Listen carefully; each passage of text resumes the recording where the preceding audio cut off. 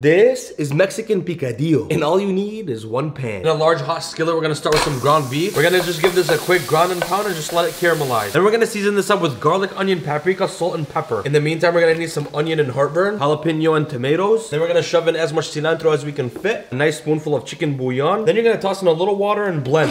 Now back to our ground beef situation, I'm gonna toss in some cubed potatoes. Season this up with the same seasonings as earlier. Just toss and turn this all with your ground beef. And finally, we're gonna go in with our onion cilantro smoothie. When this comes up to a nice boil, cover and drop to a simmer. We're gonna cook this for about 30 minutes or until the potatoes are tender. Now hear me out, I saw a lot of people having fun with this recipe, so I'm finishing mine off with a little cheese. I'm gonna scoop it up with a tortilla. And as always, na bismillah.